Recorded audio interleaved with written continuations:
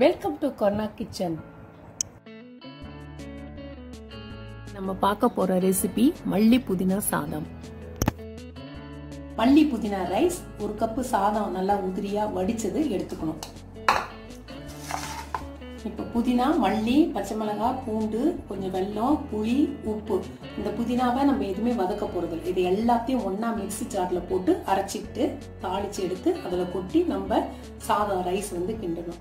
இப்போ எல்லாத்தையும் தண்ணி ஊத்தாம அரைச்சி எடுத்து வச்சிருக்கேன். நல்லா எண்ணெய் காஞ்சதும் கடுகு உளுத்தம்பருப்பு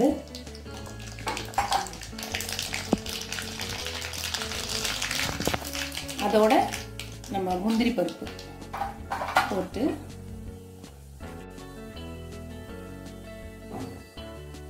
கடுகு நல்லா வெடிச்சதும் நம்ம அரைச்சி வச்சிருக்கிற கலவையில எடுத்து இதை ஊற்றணும்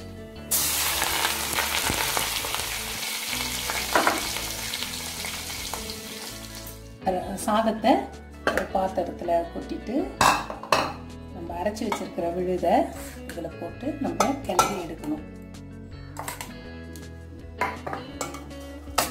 நம்ம தேவையான அளவு.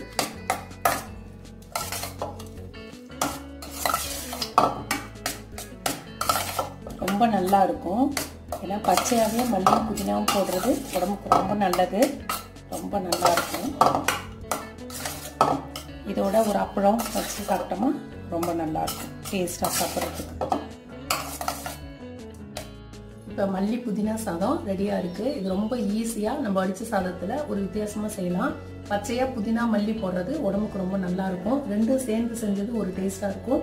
சாப்பிட்டு பார்த்து சொல்லுங்கள் நன்றி.